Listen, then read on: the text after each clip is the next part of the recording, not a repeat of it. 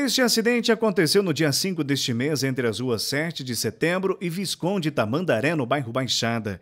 A colisão foi entre uma motocicleta Honda 125 e um Palio Weekend. Conduzia a motocicleta Sargento Fabiano.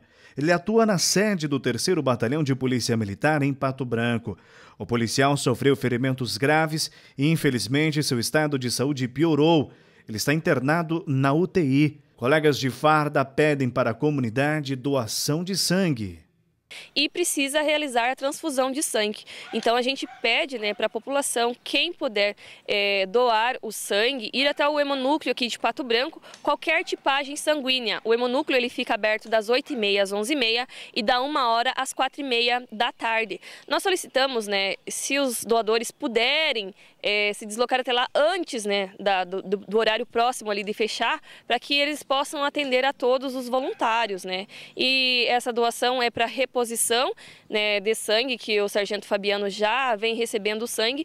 O trânsito de Pato Branco acaba sendo violento pelos índices que mostra. São pelo menos três por dia. Neste que o policial acabou se envolvendo, ele sofreu fratura em uma das pernas, na clavícula e ferimentos pelo corpo. O estado de saúde dele acabou piorando e precisa realizar cirurgia. No entanto, o corpo médico achou não interessante nesse momento porque seu corpo apresenta imunidade baixa. Por enquanto, ele não pôde realizar né, as cirurgias em razão né, da sedação e do quadro de saúde dele. Então, essa transfusão é justamente para aumentar a imunidade e possibilitar a realização das cirurgias em decorrência do acidente de trânsito. Já é um policial muito conhecido pela comunidade. Há muitos anos está aqui trabalhando? Isso, já faz bastante tempo que o, o Sargento Fabiano atua aqui no, no terceiro batalhão.